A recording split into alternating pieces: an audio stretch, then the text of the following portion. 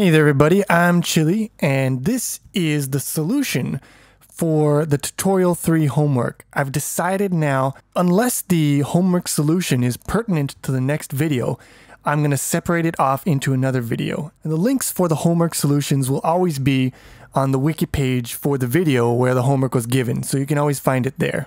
So the first rule of problem solving is you take a problem and you break it down into smaller problems and then you tackle those problems one at a time. So our problem, we've got three smaller problems. We got to change the shape, we got to change the color, and we got to change the position. So let's take a look at the shape. Now the code we have here, these put pixels, they will generate for us a reticle shaped uh, formation of pixels and we need the other shape. So I'm just going to put that in here right now. All right, so these put pixel calls here are going to generate the box that I showed you in the last video. These ones are generating the, uh, the reticle. Now we got to select between them using if. So first things first, we're gonna, let's get rid of this outer if. Here we go. So we've got one if here. I'm just gonna unindent those. Then we're going to add an else around the other ones, like this, and then we're going to set the condition, which is not vk down, but vk underscore shift, I believe. I can't remember if it was shift or control. But we're going to say for today, shift is going to control, that's confusing. Shift is going to set the shape. Good. One down, two to go. All right, next what we got is we've got to change the color.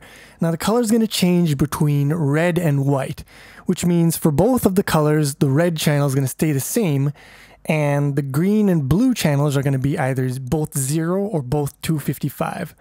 So we can represent green and blue in one value. We're going to call that int GB, green blue, and we'll default it to 255 and then we're going to set it if the control key is pressed, we're going to set it to zero. Now, it's not enough just to create this variable here.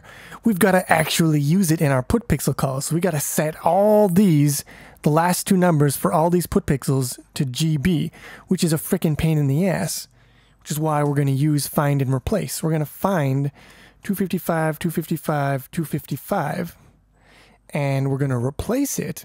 Click this down arrow here with 255 GB, GB. Can't fucking, don't hide my type in there, bitch. All right, there we go. And we'll just replace all, and there we go. Bob's your uncle. Now, the last problem we got to solve is the position. And what we want to do here is we want to move x to the right by 100. So add 100 to x if we're pressing the right key. So x is equal to x plus 100. Now, if you tried to if you tried to tell your math teacher you wanted to use this equation, he'd be like, he'd probably punch you in the face because this makes absolutely no sense.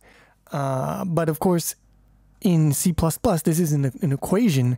This is a statement. This is saying load the value of x, add 100, and then store that result back into x. So basically, we're uh, incrementing x by 100. Now, the compiler doesn't seem to like this. Can you guess why?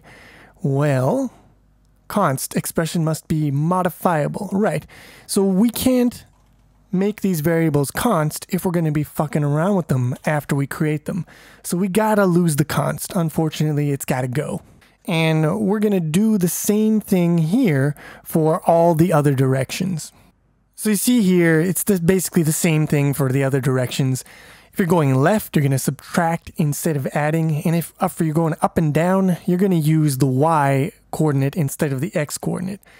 But it's all the same thing in the end. And if we run it, we see that we get the same thing, right? We can change the, the color, change the shape. It, uh, it defaults here to the box, which is backwards. Uh, that's just because of the order here, right? It's going to, uh, if we're pressing shift, then it does the reticle. Otherwise, it defaults to the box.